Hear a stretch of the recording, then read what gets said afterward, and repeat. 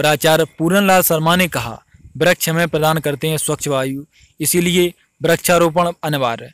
दतिया ज़िले में collector B S Jamod के निर्देशन पर शासकीय हाई स्कूल सालोनी विद्यालय में किया गया वृक्षारोपण। इस मौके पर शासकीय विद्यालय के प्राचार्य पूरनलाल शर्मा ने स्टाफ के साथ मिलकर किया वृक्षारोपण इस मौके पर प्राचार्य पूरनलाल शर्मा, अध्यापक देवेंद्र शर्मा एवं अतिथि शिक्षक पवन रजक, रोहित नामदेव, राजेश वर्मा सहित सभी स्टाफ रहा मौजूद। भांडर क्षेत्र से एसआरबी पर मुरारी रघुवंशी की रिपोर्ट।